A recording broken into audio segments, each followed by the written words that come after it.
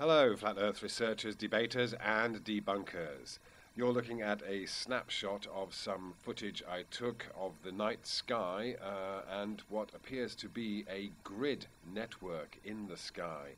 Uh, captured this completely by accident while filming stars, and uh, I was doing this at the same time as taking some time exposure snapshots. Uh, the night was very, very clear, and uh, I went out to see what I could see and was very, very surprised to see this in a few seconds of uh, some footage. So I'll let that run now for you, and you can watch it in normal speed, and then I'm going to play it at uh, a slower speed and um, with some uh, the graphics enhanced a little bit, and uh, we'll have another look at what other people are saying about these grid lines in the sky.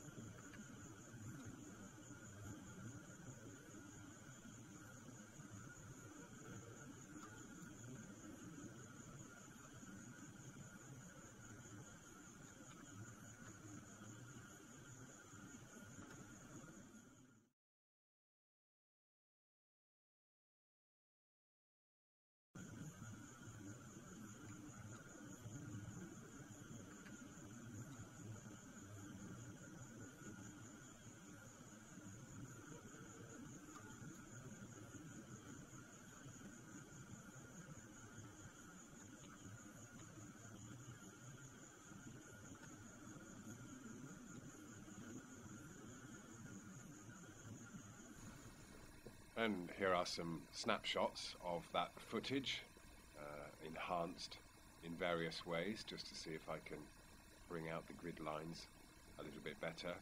And this one is uh, as I was zooming in on the star, so you can still see the line there. And here's a photograph of the patch of sky that I was videoing just now, so you can see there are no obstructions. I've deliberately chosen a place with a clear unobstructed view of the sky. And just to give some technical information, one thing I did differently with this particular shot is I'd um, taken the shutter speed down to about six, the lowest it could go, and uh, just to try and get as much exposure as I could. The focus was at its maximum, I'd set that manually, and uh, it was recording at 50 frames per second. Uh, so hopefully this information will help uh, others try to capture this. And here are some of the snapshots I was taking with the other camera. Uh, these were time exposure shots between 30 and 60 seconds uh, with an ISO between 200 and 400 and uh, the aperture setting or the f-stop setting at about 5.6 I think the lowest I could get for that particular uh, setting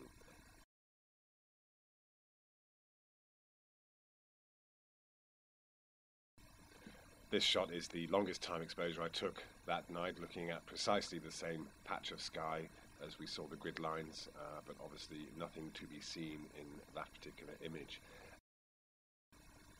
And here are a couple more very interesting shots with um, what I presume to be light pollution from uh, possibly a nearby street light. These were taken from uh, my balcony, um, but it's uh, quite a curiosity the, the colours you get.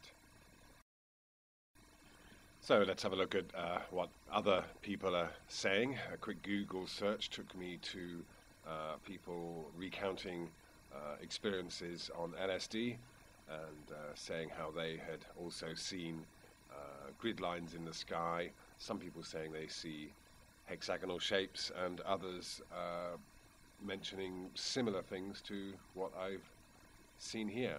Uh, we have a discussion on uh, Above pop, top secret as well.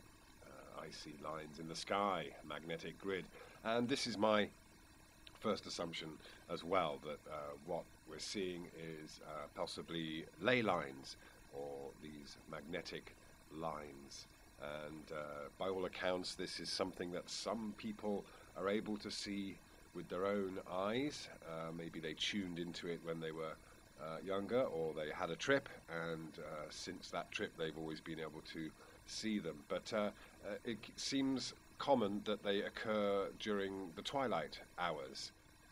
And the accounts by people that claim to see these lines are of seeing them just for a few seconds, uh, often by chance. I do like the idea that they are ley lines, which uh, animals use to migrate, find their way around, uh, but uh, kind of looks like a dome or a tunnel kind of effect. Uh, not sure what to make of that. Obviously, perspective is something that is worth taking into consideration as well. Uh, but Now, obviously, I'm not discounting the possibility that this is a technical issue or an artifact which can occur with uh, digital uh, videography like this, especially at night. Uh, but uh, from what I can see so far, uh, the lines appear to be something that was actually there.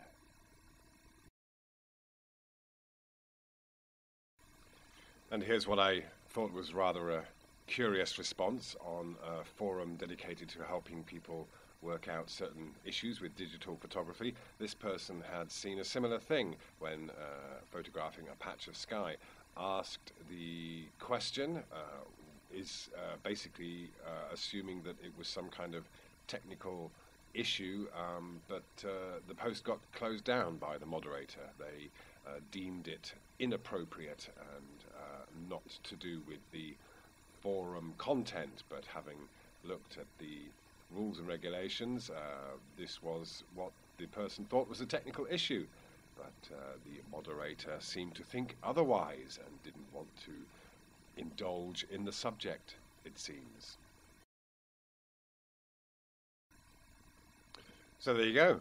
Um, very, very interesting, curiouser and curiouser as we go down the rabbit hole. I'll just leave you with that footage one more time and bid you farewell until the next time. And of course, I will be trying in the meantime to get more of this footage. Let's see if it can be reproduced, and it would be great to see if uh, anyone else can capture this. Thank you very much.